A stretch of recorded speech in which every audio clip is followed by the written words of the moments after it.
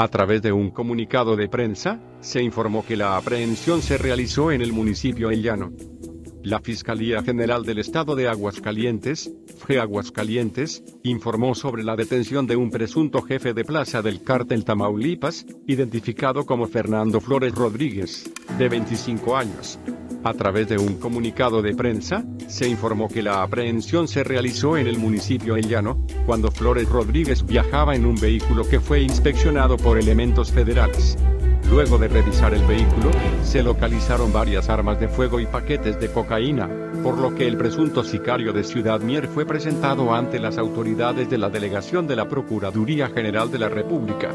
Al momento de revisar su historial, los agentes localizaron que tenía una orden de aprehensión pendiente desde 2015, por violación, aunado a que era buscado por el FBI desde hace cuatro años por ser el principal sospechoso de la muerte de tres hondureños, en Texas.